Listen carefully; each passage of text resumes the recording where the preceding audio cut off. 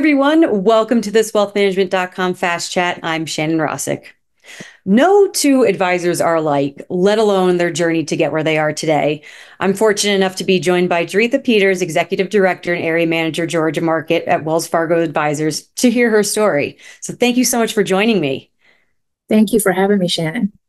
Absolutely. So let's dive right in. Doretha, can you tell us about your current role and the path you took to ultimately get here?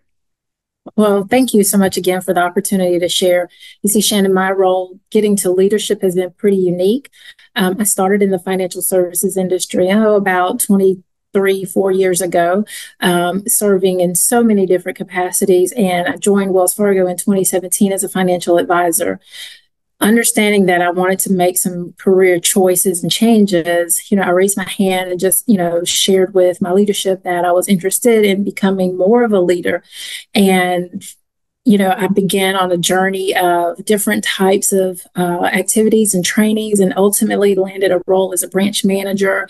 And then now, subsequently, as executive director and an area manager within Wells Fargo Advisors. So it sounds like leadership really called to you. Can you talk about how the leaders you worked with and the culture at Wells Fargo Advisors has helped you carve out that path? You know, Shannon, it's kind of important to note that you know, my journey has had, you know, some challenges and setbacks. And as a single mother, I didn't have the opportunity to sometimes take the risk that some of my peers did. And so having those candid conversations, which are, you know, a, a normal um, practice and behavior here at Wells Fargo, my leaders were able, able to understand, you know, what it was that I really wanted to look forward toward the future, creating a pathway for myself and, you know, for my family.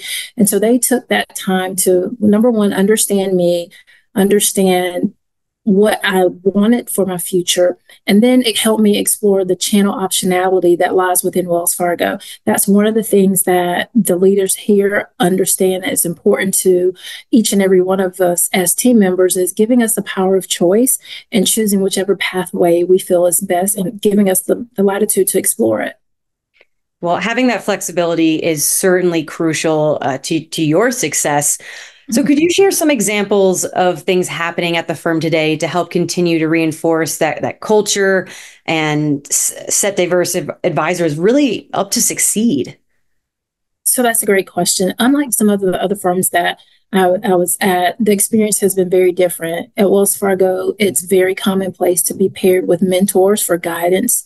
Um, we have advocate coaches that are dedicated to whatever diverse population um, that they're assigned, and that's through coaching conversations, you know, attending peer industry um, conferences, sharing news articles, just even phone regular, you know, regular phone conversations picking up the phone, checking in.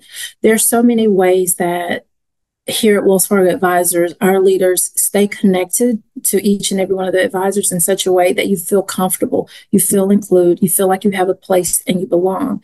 You know, moreover, we also have great leadership that's encouraging us to adopt new technology and all the other things that are going to lead for success becoming members of you know some of the industry um, organizations that will help give us a networking opportunity.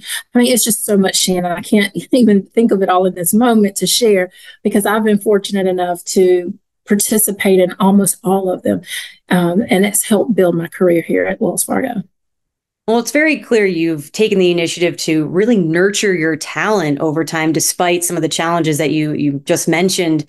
But how has Wells Fargo Advisors culture helped you be able to better connect with diverse advisors and, like I said, nurture talent over time?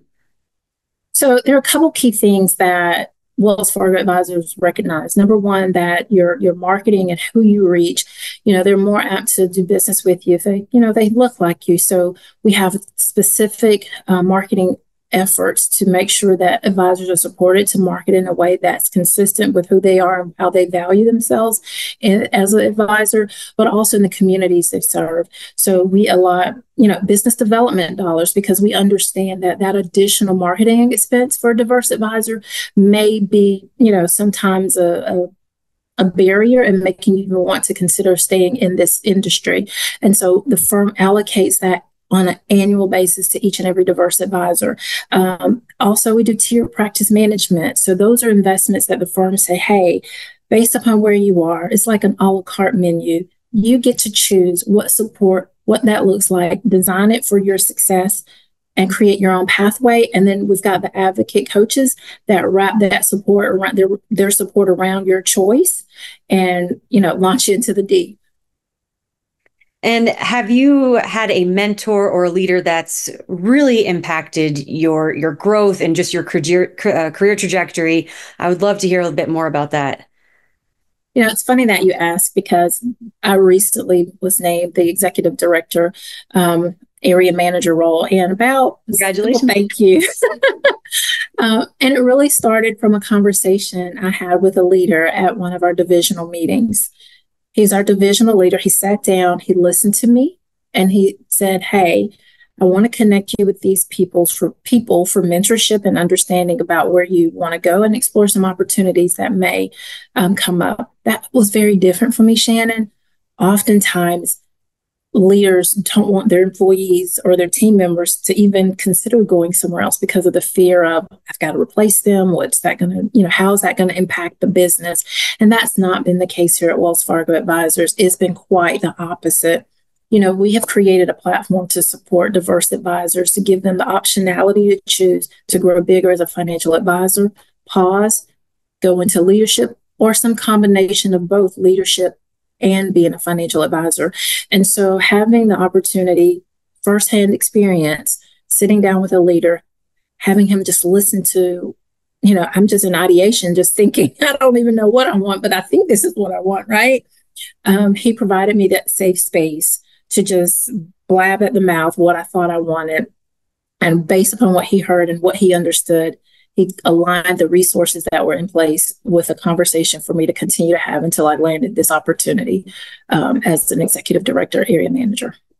Well, I love hearing that you've had such a positive experience, but I want to look ahead a little bit uh, and looking into the future. What do you think firms need to do to keep providing the support their advisors need, especially as we know the needs of clients are changing, they're more demanding? Um, how does this all evolve? You know, I think firms, number one, need to continue listening, you know, listening to both their advisors and to their clients, making sure they're not missing out on the opportunity to evolve with the demands. It's as simple as that. I think sometimes we overcomplicate the process, but I don't think it has to be that way. You know, also keeping it, you know, a close ear to what the regulatory changes are, some of the product and industry changes, and packaging it in a way that advisors and or leaders can digest it and create success around those different models. You know, as leaders, we have the responsibility, you know, to our clients, to our communities, you know, to our team members to make sure that we're developing the skill set around being active listeners and I think that has been some of the success that leaders have had in Wells Fargo advisors about retracting and retaining talent is because they take time to listen and understand. Well, Doretha, thank you so much for sharing your journey and experiences, and congratulations again on the recent promotion. Obviously, very well deserved based on what you told me today, and just truly appreciate your insights. It's been a pleasure. Likewise, Shannon. Thank you so much for having me.